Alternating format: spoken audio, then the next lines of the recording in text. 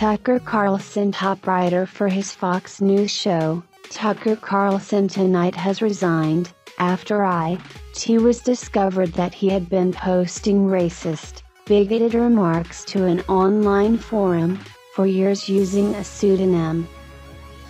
CNN first reported Friday that Blake Neff had been using a pseudonym to post on AutoAdmit, an online forum that is unmoderated, and known to be a hotbed for offensive and derogatory comments. T.S. According to the network, just this week, Neff commented on a thread that was created in 2018, by another user, with the subject line, Would you let a jet black con go and do LASIK eye surgery on you, 4% off? Neff responded, I wouldn't get like from an Asian, for free, so no. On June 5, Neff posted, Black dudes staying inside playing Call of Duty is probably, one of the biggest factors keeping crime down. In a June 24 post, he wrote, Honestly given how tired black people always claim to be, maybe the real crisis is their lack of sleep. Additionally, Neff reportedly kept a thread for five years, where he allegedly denigrated a woman, and Shaw, read information about her dating life. Neff was Carlson top writer, and worked at Fox for four years, having previously been employed at the Daily Caller, the conservative news outlet Carlson co-founded. Neff also worked as a reporter, at the Hill under a fellowship in 2013, and T. 2014.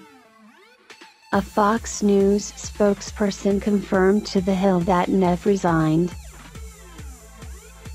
Neff did not respond to multiple requests for comment by CNN.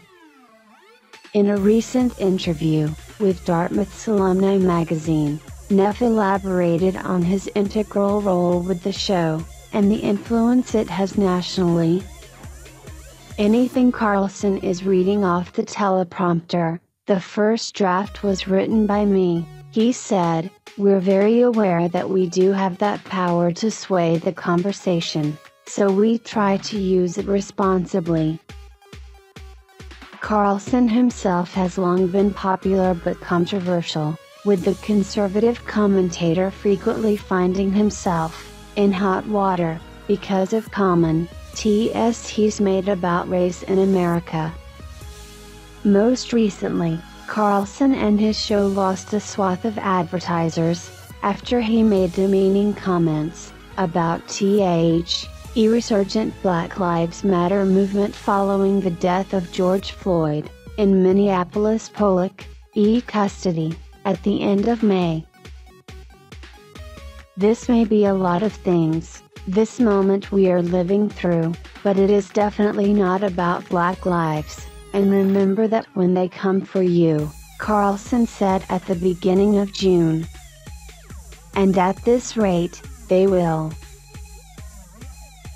Fox News later said Carlson was referring to Democrats, when he said that they will come for you, you. Tucker's warning about comma when they come, for you was clearly referring to Democratic leader, S, a Fox News spokesperson told The Hill at the time.